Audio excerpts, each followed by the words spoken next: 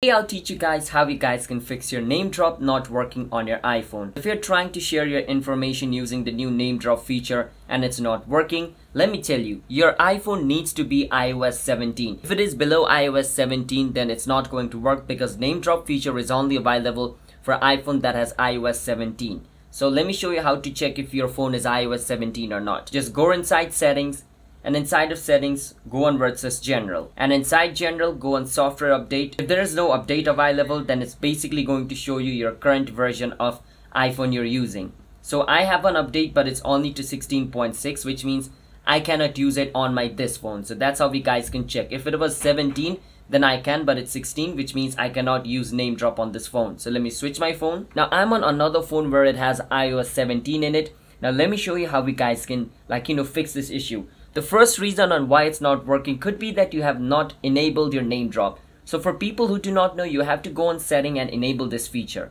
Let me show you how. First is you want to open setting and inside of setting you want to go inside general and inside of general you want to go on AirDrop. Once you're inside AirDrop, the last option where it says bringing devices together, make sure this is turned on. If it is turned off, then that's the main reason on why your NameDrop is not working. Once you do that, your NameDrop should start to work and for the NameDrop to work both of the phone has to be enabled alright? So if I try to name drop like with a phone which has iOS 16 and I have iOS 17 it's not going to work. Both of the phone needs to have iOS 17 for NameDrop to work.